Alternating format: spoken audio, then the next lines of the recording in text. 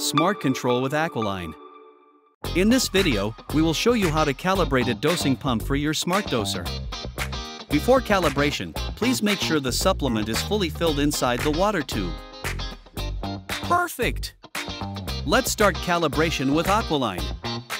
First, make sure the cylinder is clean and dry. Then, go to the Aqualine app and select the device on the dashboard. Select Calibration in the menu below. Select a pump to calibrate. Then press Start Calibration.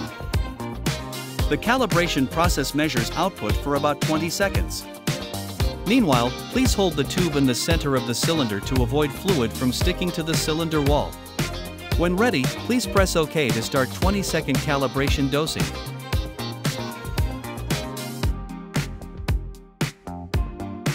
The measuring cylinder has graduations every 0.2 milliliters. When reading the cylinder, please make sure that it is perfectly vertical and at eye level.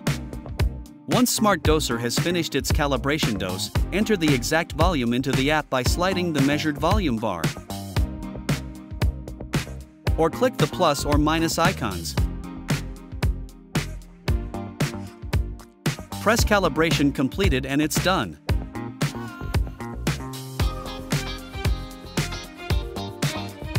Enjoy your smart doser.